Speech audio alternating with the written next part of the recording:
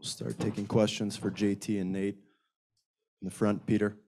Yeah, Nate, to start, just what did you think about winning in such a high scoring style? And how did you feel your five on six play when they pulled the goalie at the end? How did you feel you guys did in that situation? Uh, good, yeah.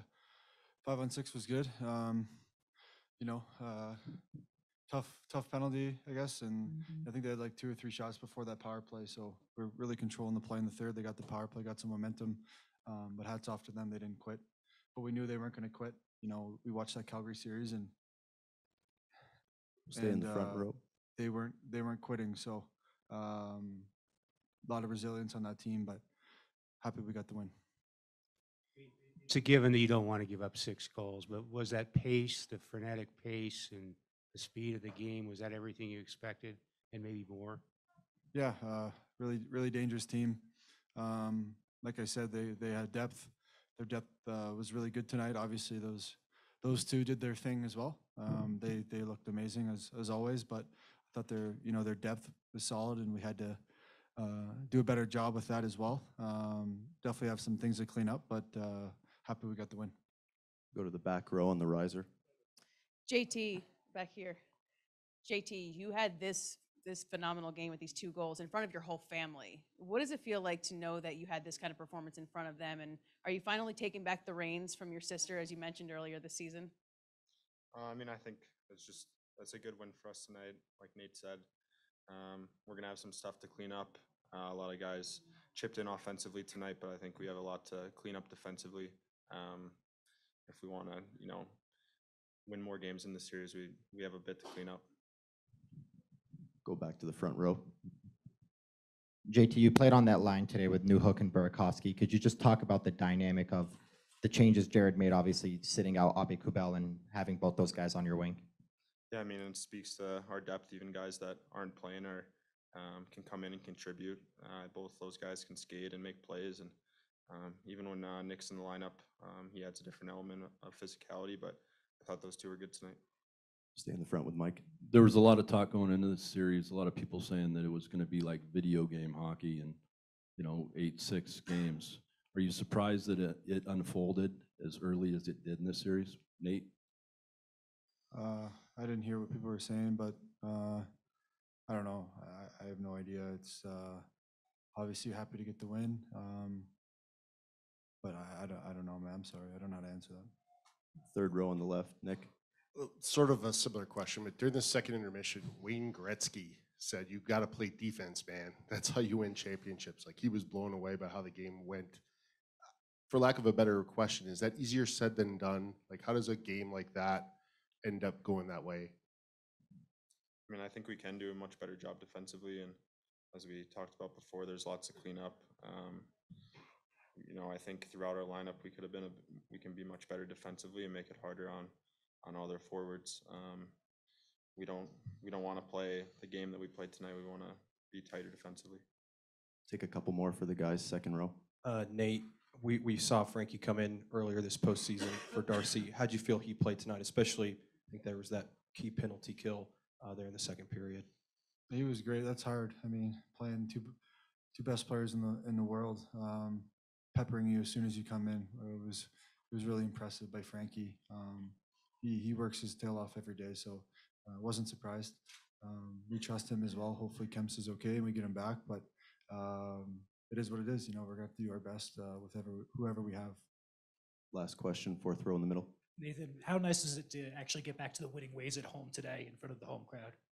Yeah, it's good. I mean, we need four. We got one. Uh, a lot of work to do. Um, you know, I think, like Comp said, we we would prefer to uh, not have an eight-six game. Um, you know, we're up seven-three. We gotta, you know, find a way just to get the momentum back a little bit as they push. But that's playoff hockey. There's so many momentum swings, and uh, the game is, um, you know, game of inches for sure. You know, we had we had a ton of good looks in the third as well. We were really outplaying them. I thought before that power play midway through, and um, that's how it goes. But um, you know, we'll we'll learn from that, and uh, we're we're going to keep getting experience, and um, we have to try to find the positives in all these things.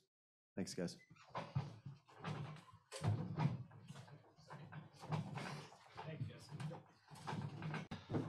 Start taking questions for Cale and Pavel. Front row, Mike.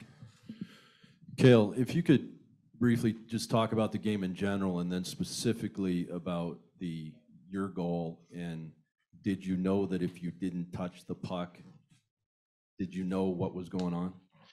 Yeah, so uh, game overall. Um, I mean, it's tough when everything starts to open up like that. Obviously, we're getting scoring chances, uh, capitalizing, and then um, obviously they're doing the same. And a couple, couple unfortunate bounces on our end from a couple block shots. But um, at the end of the day, um, those those aren't like playoff games. I feel like we got to be tighter as a group, and we know that. And so, focus moves to game two, and then um, for my goal wise, I haven't even seen the replay yet. I just I knew that they were trying to get out of the zone, and um, my instinct was to try and give them as much time as possible. So uh, I don't know if I lifted my stick away from the puck or whatnot, but um, yeah, I haven't even looked at the replay, but um, it didn't didn't feel great when they snap called that um, the challenge there. So um, yeah, I'll take a look at it, but uh, maybe lucky.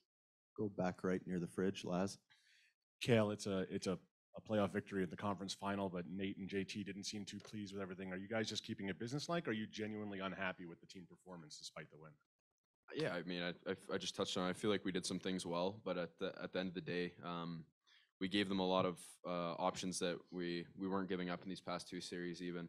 Um, so it's just obviously they have a lot of skilled players, and we need to mark those guys. But at the same time, I think as a group, we we can be better defensively. And um, I mean, it's obviously tough when the game opens up, but at the end of the day, um, yeah, uh, we move, we learn, we learn from this, and then move on to game two. But um, yeah, definitely not the way you want to play games with these guys. Front middle. Pavel, did you have any inclination that there was something going on with Darcy, or was that something that in the moment you found out you were suddenly going to have to come in? I think I, I had uh, like uh, one or two shifts to kind of stretch in the in the background and uh, get ready. So it wasn't like going in in the right moment, but uh, uh, I had a little bit of time to kind of stretch and trying to put my thoughts together and go on. Stay in the front row. Briefly, before my question, just to follow up on that, so did you, did like Kemper give an indication that he was gonna have to come out for something and that's when you started? Uh, yeah, my I mean I heard I heard from the trainer to get ready and uh, that was kind of that was it. And then, Cale, what did you maybe learn from the, at the end of game five in St. Louis, you had the six on five, the Blues had the six on five and they score, and I know it was a bit of an unlucky bounce, but what did you maybe learn from, from that situation uh, that carried into today when you had a five on six kill against a really good, talented group of players? Yeah, I mean, I think for us defensively, um, they obviously, like you touched on, they've they- they're capable of making such great plays out there. So um, it's when they start getting going, I feel like well, your tendency as an individual is to get puck focused, and then you kind of lose track of your your uh, task of whether it's covering the certain pass lanes. So um, for us, it's everybody needs to just trust each other, and uh, I feel like relatively we did that tonight. Obviously, there was some chaos, but we were able to subdue that a little bit. But um, yeah, overall, you just you learn from that experience in in uh, last round, and then um, you just try and uh, try and bring it back better. Third row on the left, Ken. Pavel, what is your process like? You know, you always hear goalies have to stay ready. What's going through your mind during the game, and how do, are you taking mental reps, or what, what is that process like for you?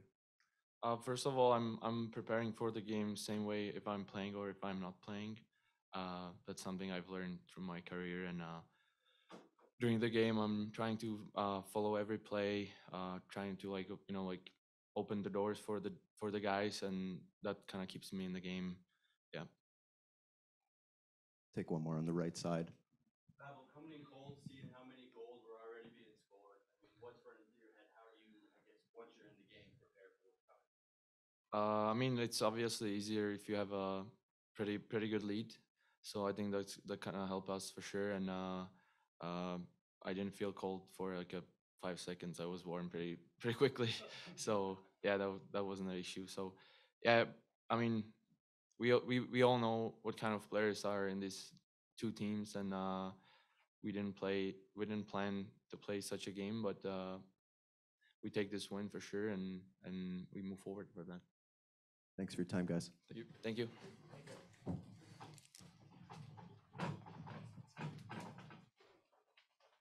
Taking questions for coach, third row on the left, Nick. Second intermission, TNT, Wayne Gretzky, believe it or not, said, you got to play defense, man. That's how you win Stanley Cups. He was just sort of blown away by the way the game went. So do you agree? And why do you think the game went that way? Yeah, I totally agree. I liked our checking game for the most part. I thought we were a little unfortunate on a couple plays. Did a nice job against the rush tonight. Kept playing in the third period. Felt like when we made mistakes, they capitalized on them, you know, so you got to obviously make less mistakes. But we did get unfortunate on a couple of goals, in my opinion. Front row, Peter. Before I ask my question, just what's the latest on uh, Darcy Kemper? Uh, he's out with an upper body injury or left the game with an upper body injury. Yeah. Day to day, longer term? Yeah, we'll see. Okay. And then um, I know plus minus can be a little misleading, but Manson I think was minus four tonight. What maybe was he fighting a little bit, and what did you see out of his game? Yeah, I thought he struggled a little bit tonight. Wasn't his best game, obviously. I think it was the first goal, the Kane breakaway, bad read, got caught. Um, there was another goal that kind of kicked around the net front and found a guy open. Not really his fault, you know. It is is what it is. Sometimes you're on the ice when other guys make mistakes. Sometimes they're your own mistakes, and sometimes it's an unfortunate break. So, you know, tough night, but he'll bounce back. Front middle. Jared, can you explain the uh, thought process behind playing both Newhook and Burakovsky for the first time on that line and just the dynamic of that trio with JT? yeah, I just want, I felt like, you know, good opportunity for those guys. They both have skill and JT had a really good game last game. Try it out and see how they play. Thought Newhook had a really good night. JT scored two again. Berkey was pretty good, big block and, you know, obviously has to leave the game for a little bit. That's one of the unfortunate ones. Like we got a guy laying on the boards, you know, it's, you're, shorthanded kind of thing, and and and, they, and then they get a bounce off the side of the net too, kicks right to their net front guy. So it happens, you know. They earn some of their breaks. Some of them we got to be better with the puck, and but like the way we checked, really. I'll be honest with you. You know, they made some plays, but we made some mistakes. Stay in the front, Mike. Makar's goal, obviously, they're late in the second, is a big one because that was basically the difference. Um, was it the first period? Um, how did you see that go down? And was it Cale's instincts not to touch the puck inside the zone? He kind of mentioned that, but uh, and how how often have you seen that play? Well, you see it a lot. The tag up rule. I mean, you see it a lot. We saw it in playoffs a couple years ago against San Jose, but it happens during the regular season quite a bit. Maybe not quite as tight as that. Um, I just saw Cale step up, great gap. He's able to like smother the play coming out of their zone, and then he got the puck he wanted, and he jumped by it and went on the attack. Whether he touched, didn't touch it on purpose or not, I have no idea. I'd have to ask him certainly something that he's capable of doing. Val does a nice job hustling out before he touches it, and obviously a great shot. Again, given, you don't want to give up six goals, we understand that. But was that pace, the style, the frenetic nature of that game what you expected and more? And is there a helplessness as you're wa- watching that? No, I didn't feel helpless at all. I thought our guys did a nice job getting above pucks, shutting down the rush. It's the pace we expected, no questions. Fast, fastest team that we played against. Um, obviously, a lot of talent. Um, there's areas of our checking game that I really liked. There's a couple other ones that I didn't that we'll look at and talk about. And um, but no helpless feeling from me there. I thought we were doing a nice job on the offensive side of things, even in the third period. What do we have? Two breakaways, another great seam pass to, to Val that we missed on. Like we were generating, we were shooting the puck. We kept staying assertive. You know, got to make a few less mistakes on the other side of it. Third row on the left, Ken. Jared, never want to lose your number one guy, but what does it mean to have a guy like Pavel who has had to carry the mail before, and what do you like about his demeanor? Well, I mean, great demeanor, right? Calm, cool, collected guy, great teammate. Guys love playing in front of him. He came, had to come in in the, the Nashville series, did a great job for us. He's been staying ready, putting in the work with Jussi, our goalie coach, and um, trying to stay sharp and crisp. And he's in tune in all the meetings and asking the right questions. You know, I, I have a lot of faith in him. So does our team. So having a guy like that's obviously key. See through the playoffs how many teams are on to their second goalie and some teams third and trying to survive. You got to have capable goaltending with from more than one guy, and we have it. Take two more for coach on the right side, Frankie. Uh, Jared, considering the, the talent of both teams, at what point a lead that seemed comfortable becomes uncomfortable? And how do you deal to make sure that there's no panic coming on the bench? well, we've talked about this a lot, you know, we keep, continue to play our game and stay assertive and, and, and play to our identity regardless of time and score. We know safe is death. And we, we got a hard lesson on that in the St. Louis series. Hadn't seen it for a while from our team. Popped up in the St. Louis series. We regrouped for the final game and did a nice job again of playing. Um, we had leads in that series and, and played really well in the third period. Kept playing our game to create scoring chances. Did a nice job suppressing chances. I thought we did a decent job tonight. Not quite good enough against a team like the Oilers, but just you know, I think it's a mental toughness and a belief that that, our team can win, and that we just got to keep playing until the buzzer. And um, tonight we did that. Last question, front left. I think you've you've mentioned at points throughout the year that you like the way uh, the chemistry that Naz and Mikko have together. I guess what do you see out of them, and just how important do you think Mikko's goal was to maybe get him going a little? See, well, I mean, and Mikko's playing hard. He had a nice night, you know. Even the Kadri goal, great play on the power play, feed it in on the backhand. Like he was all over the puck tonight.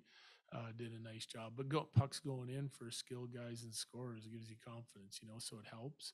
Um, but with, with Mac out of the lineup times this year, I mean, we've seen those guys play real well together. It's an important line because you know uh, MacKinnon and and McDavid, you know, going head to head, and then you got to try and win all your other matchups, you know, and and and that's a good line with Naz and Mikko on it. It's an offensive line. Lucky, you know, great play to send Naz in tonight on the breakaway. Does a nice job defending it, and then has the wherewithal to feed it into the middle to Naz flying through there. Like they were doing some good things. Thanks, coach. Yep. Thank you.